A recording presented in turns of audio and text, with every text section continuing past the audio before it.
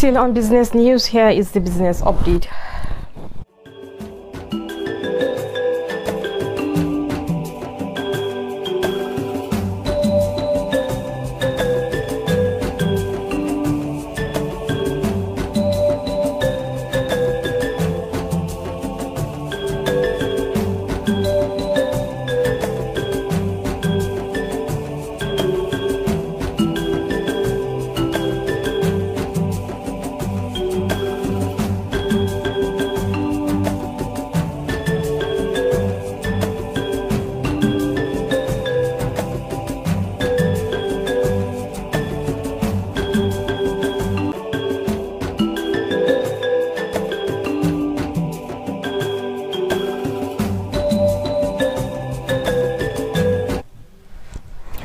Our sports correspondent is standing by with the latest highlights in the world of sports.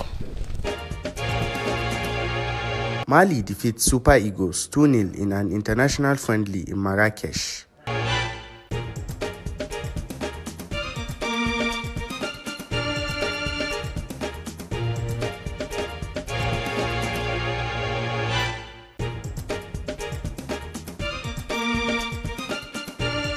Minister of Sports Development says Nigeria has the infrastructure and the facilities to hold the Commonwealth Games soon.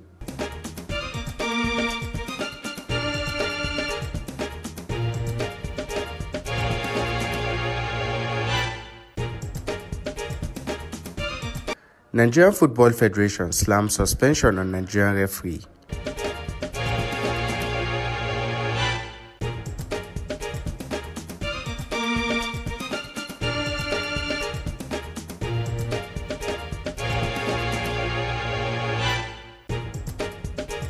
Volta loses to Azarenka in fourth round of the Miami Open.